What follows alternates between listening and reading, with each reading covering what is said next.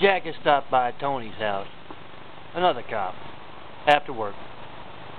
Tony's wife, Gwen, has been after him about getting her those copies of the videos.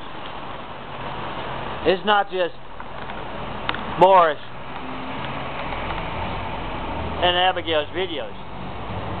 Through those videos on that camera, he got in touch with their networks. From the church, from other places.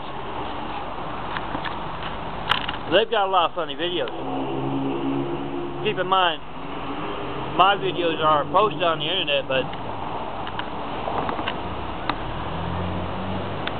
the billion and a half there can't see them. A lot of videos are censored because of their content. Tap into those networks. Make your Saturday nights a little more interesting. Then get out that camera and make your own videos. Funny, they got more of an audience now than they had when they were alive. Out of tragedy, the Domino Network rose.